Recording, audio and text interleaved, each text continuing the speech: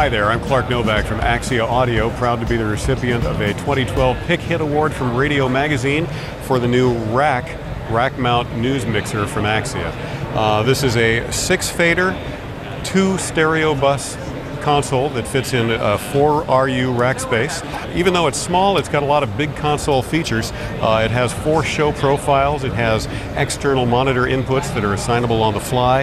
It has dynamic OLED channel displays and the ability, of course, to assign any source to any fader at any time.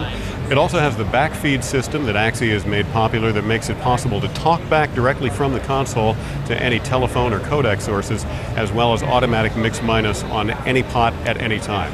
So uh, these are brand new, they are ready to ship now, and they work with the QOR.16 integrated console engine from Axia that has the Ethernet switch, the analog, microphone, AES inputs and outputs, as well as GPIO, all in one air-cooled, fan-free 2RU rack unit.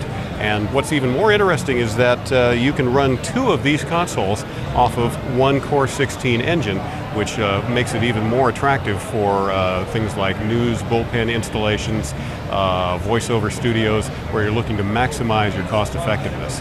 These are shipping now and available from Axia Audio. I'm Clark Novak live from the 2012 NAB show in Las Vegas.